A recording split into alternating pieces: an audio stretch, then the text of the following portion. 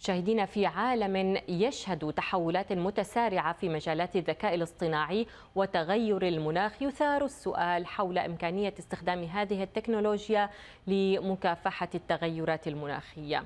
شركة جوجل التي تقود السباق في هذا المجال أعلنت عبر مكتب الاستدامة التابع لها سعيها لتسخير الذكاء الاصطناعي وتطوره السريع لخفض الانبعاثات العالمية بنسبة تتراوح بين 5 وعشرة في المئة بحلول العام 2030 وهو ما يعادل تقريبا جميع انبعاثات الاتحاد الأوروبي. تقول الشركة أن الذكاء الاصطناعي يسرع جمع البيانات بيانات المناخ وتحليلها وبالتالي إجراء تنبؤات أكثر دقة حول التغيرات البيئية المحتملة ما يوفر فرصة هائلة للشركات ومشرعي السياسات والأفراد الناشطين في المجال المناخي على الاستجابة بشكل أفضل للأحداث المناخية المتطرفة. وقد بدأت جوجل بالفعل بتطبيق رؤيتها حيث تقول أن فريقا تابعا لها طور نموذجا هيدرولوجيا عالميا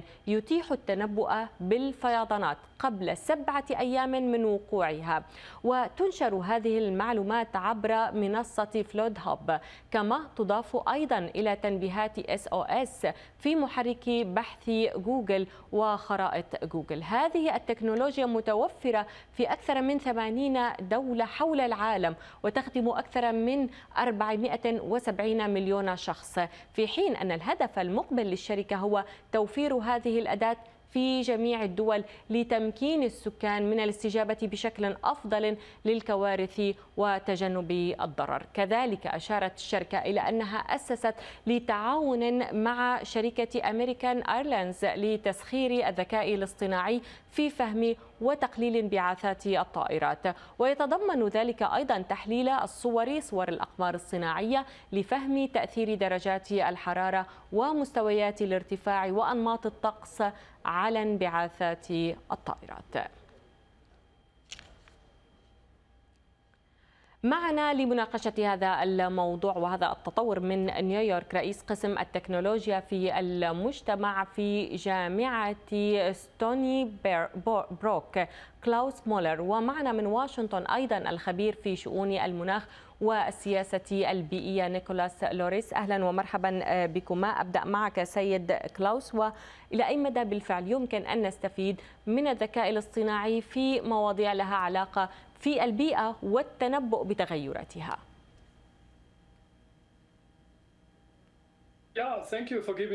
شكرا لهذه الفرصة. من المثير للاهتمام أنك تشيرين إلى جوجل هنالك مشروع آخر لجوجل هو جوجل Green Light وهو مشروع يدير الطرقات الأساسية في المدن الكبيرة وإشارات السير وكلما يتوقف المرء ينبعث الكثير من الكربون من السيارة. ومع عدم اتساع رقعة السيارات الكهربائية. إذا جوجل يقوم بإدارة إشارات السير وينسق بينها لكي يكون هنالك الضوء الأخضر المسهل. إن نصف الانبعاثات الكربونية في المدن تنبثق عن توقف السيارات عند إشارات السير. وذلك أيضا حسب الوقت في النهار المحدد. يمكن زيادة الانبعاثات أم يمكن رؤية انخفاضها؟ إذا إنه ابتكار مهم لأنه يساعد المرء على مكافحة التلوث. ويسرع دفق السير في المدن وهو فوز للجميع. هو فقط نموذج لاستخدام الذكاء الاصطناعي نعم. في هذا المجال. نعم. أتحول إلى السيد نيكولاس وحضرتك خبير في شؤون المناخ والسياسة البيئية. كيف يمكن للمناخ أن يستفيد من الذكاء الاصطناعي؟ وهذه الدراسات المتعلقة بالبيئة وبالمناخ والتغيرات المناخية التي تطرأ نتيجة للاحترار.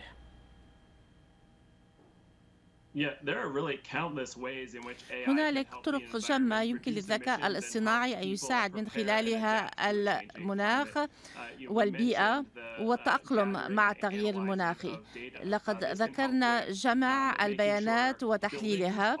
فمثلا نتأكد بأن المباني هي متناسبة مع اقتصاد الطاقة وأيضا يفيد خفض الانبعاثات. نستخدم هذه البيانات لكي نفهم متى سيطرأ طقس شديد وقاس وأيضا يمكننا استعانة بها لتقليل من إمكانية حدوث حرائق الغابات.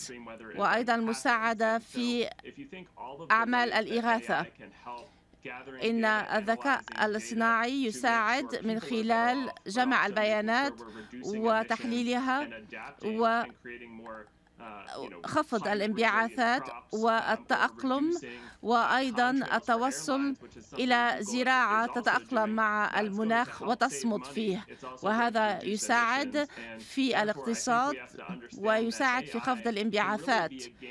الذكاء الاصطناعي قد يغير اللعبة في كل حقول الصناعية التي نعم. ينبثق عنها آه، انبعاثات كربونية نعم أواصل معك سيد نيكولاس وهذه آه، آه، هذا الذكاء الاصطناعي وتأثيراته التي تتحدث عنها وهي إيجابية من وجهة نظرك من ناحية البيئة هي من أجل تسريع الاستجابة للتطورات البيئية مثلا للفيضانات طريقة الاستجابة تقليل من المخاطر أو ربما يمكن الاستفادة منها لمنع بالأصل أن تحدث مثل هكذا كوارث بيئية. نعم أنت محقة. uh, وهذا أثبت نجاعته بالنسبة uh, للفيضانات وللعواصف والحرائق الغابات والعواصف الشديدة وهي لأحوال الطقس القاسية والتي تنبثق عن التغير المناخي. قد يمكن للمرء التنبؤ بها وقد نعرف المنطقة التي ستطالها هذه الحوادث؟ ويمكننا القيام بعمليات الإجلاء للسكان وبوضع البنية التحتية لخفض تأثير هذه العواصف. طبعا هنالك أيضا هدف خفض الانبعاث ولكن الذكاء الاصطناعي أداة هامة جدا.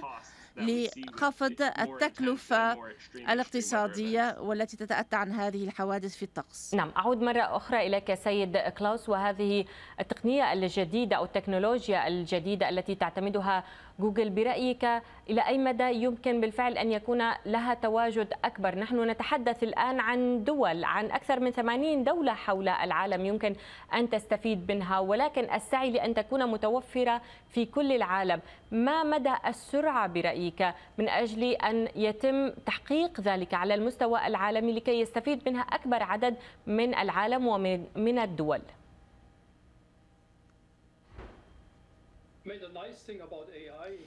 إن أفضل ما يقدمه الذكاء الاصطناعي هو إمكانية مشاركة المعلومات عبر الإنترنت.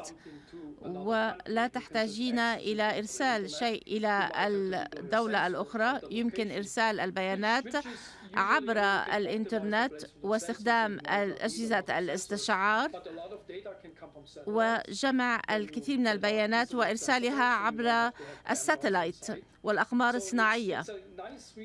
هي مورد يستفيد منه المرء عندما تتوفر شبكات الإنترنت. علينا فقط تسخير هذا المورد. إن هذه الناحية الإيجابية للذكاء الاصطناعي.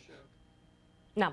طيب ما ضرورة سيد كلاوس أن تستجيب الحكومات لمثل هكذا تقنية لمثل هكذا تكنولوجيا لها علاقة بمستويات الحرارة وربما أيضا ولها علاقة بالتلوث وربما بعض الحكومات قد لا يكون لديها نفس الاهتمام فيما يتعلق بالتغيرات المناخية فيما يتعلق بالتحول نحو الطاقة النظيفة وغيرها من قضايا ذات أهمية كبيرة بالنسبة لي بالنسبة للتغيرات المناخية التي تطرأ.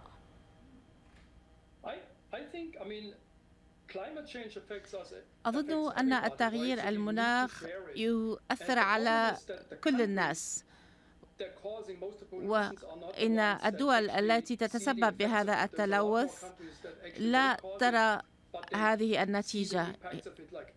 مثلا هنالك دول مثل الدول الأفريقية تتأثر كثيرا فهو من مسؤولية الولايات المتحدة أن تتشارك في هذه الموارد مع هذه الدول الأخرى لكي تخفض من وقع هذه التأثيرات.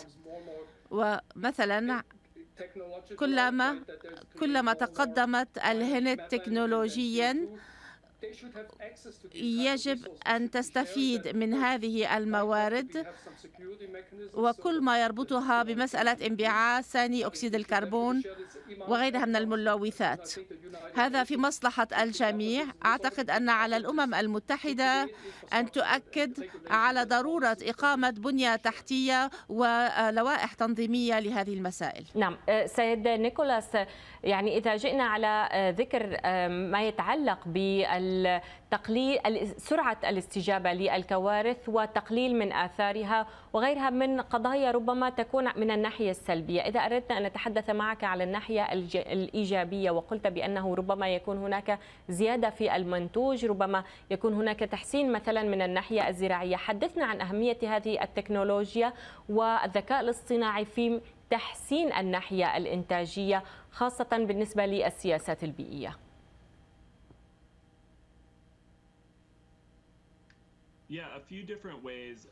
هنالك طرق متفرقة وبالاستفادة من البيانات فيعرف المرء أين يزرع المحصول المحدد. إذا نظرت إلى الابتكارات التي uh, رأيناها في القطاع الزراعي قد حققنا ذلك. uh, ويمكن للذكاء الاصطناعي أن يعزز من إمكانية جمع بيانات خاصة بالتربة وأيضا بالتحليل العلمي. ومن أجل التوصل إلى محاصيل قادرة على الصمود أمام ارتفاع درجة الحرارة وغيرها من المؤثرات. فهذا سيساعد المزارع على رفع إنتاجية المحاصيل وعلى رفع القدرة على توفير الغذاء للعالم. نعم. شكرا آه، لضيفينا. شكرا لضيفنا من واشنطن الخبير في شؤون المناخ والسياسة البيئية نيكولاس لوريس. وشكرا أيضا لضيفنا من نيويورك آه، كلاوس مولر رئيس قسم التكنولوجيا والمجتمع في جامعة ستوني بروك. شكرا جزيلا لكم.